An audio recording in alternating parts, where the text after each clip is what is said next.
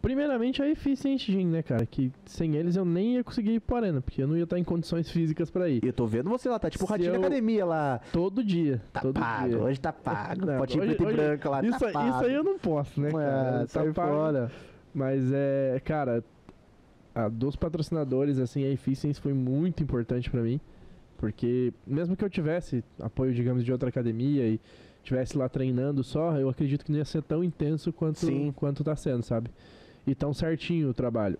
Quando eu decidi voltar, eu fui direto no, no Edu, que é o, o dono da Efficiency Gym lá, Tá. que é um cara que eu já conheço desde 2013, 2012, que ele já me treinava na, na época, entendeu? E aí quando ele abriu a Efficiency, a academia, a Efficiency, a rede tem uns 5, 6 anos de existência, já tem três unidades, todas em Colombo ali. E eu fui direto nele porque eu sei que o trabalho dele é bem, bem diferenciado, entendeu? Então eu fui lá, conversei com ele, a gente sentou, botou, bolou todo um projeto e estamos seguindo a risca. A parte de nutricionista é for- fornecida pela academia também? pela academia, também pela academia. A Natana lá, que é minha nutricionista, é todo pela Efficiency. Olha aí, cara, tá vendo? Trabalho top. Trabalho diferenciado dos caras. Aí, aí é bonito. Igor Giovanni mandou aqui, ó. Bom ver o Enzo de volta, piloto sangue no zóio. Importante continuar focado com, é, com o preparo físico e mental. Exato. O Igor é o proprietário da Cybercell. Da Cybercell. Da Cybercell, aham. Igor Giovanni, de nome não é. É, ele é lead pen, ele era meio envolvido com as motos. Ele andava tá... antes, não é, agora tá gordão também. Eu acho que eu lembro dele do tempo da adrenalina, cara. Talvez, talvez. Pelo nome e sobrenome, talvez seja a mesma pessoa. Ó, o Peroba aqui, ó. Pai vai estar online pra fazer o fervo. KKKKK. Aí, ó. Peroba sempre, sempre do fervo com a gente Sempre aqui. da bagunça, né? E pós-arena, o que, que vai, vai ser o foco? Vai ser fazer. Pós-arena é preparação pra segunda etapa da arena Isso eu daí, ia né? perguntar, vai fazer só Exato. a arena? Vai Cara, com O meu brasileiro- foco... Não, brasileiro não... brasileiro? Não tem como, porque assim, por que, que eu decidi focar no Arena, né? Eu voltei a andar de moto, falei, vou focar no Arena. Porque o custo é um pouco mais baixo. São poucas etapas, eu Tá. gasto menos moto pra treinar e pra correr, eu gasto menos combustível, eu gasto. Tudo eu gasto menos no Supercross, porque são treinos de curta duração, Sim. então, meu, em um dia de treino eu não faço quase nem faço uma hora de motor na minha moto, entendeu? Agora no motocross eu já teria que fazer duas, três baterias de 30, 35 minutos. Então já daria uma hora e meia de moto. Sim.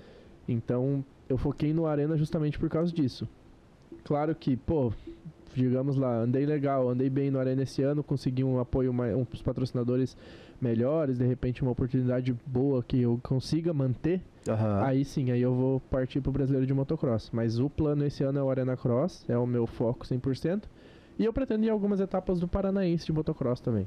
Vai fazer um paranensezinho também de moto. Pretendo sim. Velo não. Pretendo. O velo não, não tanto porque desgasta ainda mais a moto. Que daí é o tempo inteiro Em no alto. fundo. Ah, claro, pô, vai ter uma corrida ali no Cruzeta. Se eu tiver de boa no final de semana, eu vou lá, largo, corro pra me divertir também, né? O, o foco agora é mais me divertir em cima da moto que qualquer outra coisa. Sim, sim. É pra. Não vai voltar. Não que não seja a parte profissional, mas não vai se dedicar só disso porque você tem. a- Exato, o- não tenho nem como. tem contas. não- é, exato. eu Tenho tenho- boletos. Na segunda-feira eu tenho que trabalhar, eu tenho minha filha, então não dá pra. né? Claro que, meu, surgiu uma oportunidade boa pra eu voltar a viver do motocross, eu vou pensar no assunto com certeza. Mas a princípio é só. Ia perguntar referente a isso também, a parte do, dos teus cursos, como que tá sendo, se tá saindo. não Vamos, vamos fazer dia 7 e dia 14. São dois dias de curso, a gente intercalou dois finais de semana porque sábado e domingo ia ficar muito puxado Sim. pro pessoal. Então a gente vai fazer o primeiro dia dia 7 e o segundo dia 14 agora de junho no CT do Cachoeira. tá? No Cachoeira? Só que ele, é, ele é fechado para membros do, da Do associação lá daí no caso, né? Mas a gente já, já fechou as datas, já tem alguns inscritos, tá? Estamos indo aos pouquinhos. Aos pouquinhos vai. Aos pouquinhos vai, é. Vamos Vai voltando, né? Vamos botar o pé pela mão, porque senão dá ruim. Ó, o Matheus Santos perguntando pra você aqui, ó. Conta pra gente como surgiu a volta para o Arena. Então, cara, é... a partir do momento que eu comprei a moto, a gente até conversava bastante aqui nas transmissões, eu não tinha muita pretensão de correr. Sim. Porque se eu vou pra corrida, eu tenho que estar no- minimamente preparado. Pelo menos um pouquinho preparado tem que estar. E isso gera custo, gera muito trabalho, demanda de tempo. E é uma coisa que a princípio eu não ia ter. Aí, há uns 50 dias atrás, ali no meados de março, o tava lá na loja do meu pai conversando com ele, tá? ele falou: "Pô, você devia correr o Arena esse ano". Ah, e aí eu foi- já foi o velho que Foi meu pai. Daí eu já ainda? tava com essa sementinha na cabeça, né? Eu já tava com vontade. Aí eu falei, então beleza. Daí chamei o pessoal da Arena, conversamos e tal. Falei que eu tinha interesse, eles me mandaram um convite no mesmo dia e eu falei, agora tem que Agora ir, tem né? que ir agora eu já- representar. é. E aí, cara, foi bem do nada, assim. Foi uma. Daí eu decidi, como eu decidi em cima da hora, eu tive que correr com tudo, né? Então foi, foi punk. Os últimos 45 dias aí foi, foi nervoso. puxado. Treinar E, e o velho não tá apoiando, então. Ele tá, que deu ele ideia. que deu a ideia, ele que. Tipo, eu já tava com essa sementinha do mal ali, né? Mas aí ele falou, vamos, eu falei, então bora. E vambora. E também quantos anos também o Clavão se dedicando pra, pra É, fazer, então. a, fazer os corre de ida e volta e Nossa, muitos. preparação muitos de anos, né? moto, tudo tá com saudades, Ah, é, assim. meu pai cansou de chegar de segunda-feira, chegar às sete e meia da manhã e 8 horas tá na oficina já, né? Dirigir a noite inteira, viagem, chegar, abrir, trabalhar e. Ripa. Aham. E ele vai de, vai de mecânico, vai de apoio pra você vai, lá. vai, aham. Ah, na verdade, assim, eu sempre. Eu até tive treinadores, mecânicos e tudo mais, entendeu?